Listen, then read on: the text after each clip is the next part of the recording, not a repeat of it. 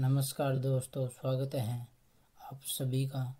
आज हम बात करेंगे विज्ञान के इस एपिसोड में में कि जीवों के शरीर में पाए जाने वाले तारक का तारक केंद्र के बारे में जानेंगे। सेंट्रो केंद्र तारक काय तारक केंद्र। सेंट्रोसोम दो शब्दों से मिलकर बना है। सेंट्रम सेंटर लैटिन शब्द है, बॉडी या काय। बॉडी यूनानी शब्द है। तारक काय की खोज टी बोवेरी नामक वैज्ञानिक ने सन अठारह सौ अठासी की थी तथा कोशिका के अंदर कोशिका द्रव्य में कोशिकांग होते हैं। केवल प्राणी कोशिका में केंद्र के समीप साइटोप्लाज्म में एक तारनुमा संरचना पाई जाती है, जिसे तारकाय कहते हैं।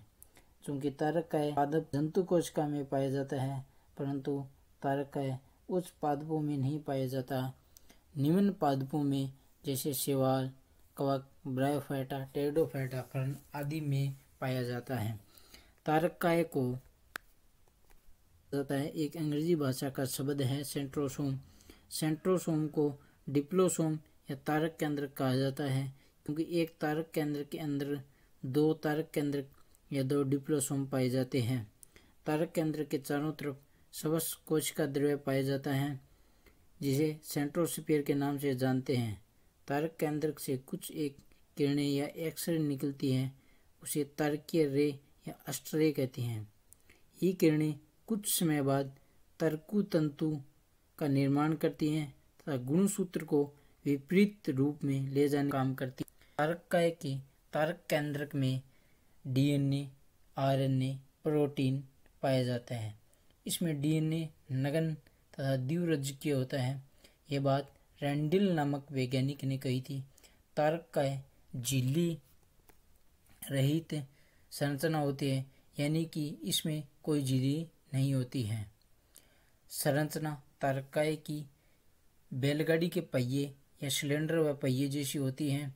तारक केंद्र के अंदर एक शुष्क नलिकाएँ पाई जाती हैं, प्लस सूक्ष्म नलिकाओं का, क्योंकि तारक केंद्र के सेंटर में कोई भी उपनलिकाएँ नहीं पाई जाती हैं, उसे नाइन ट्रिपलेट फैसंतरिक कहते हैं।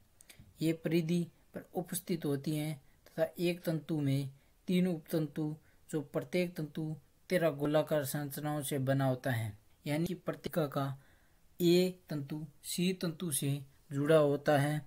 ए व सी तंतु को कनेक्टिव या संयोजी तंतु कहते हैं।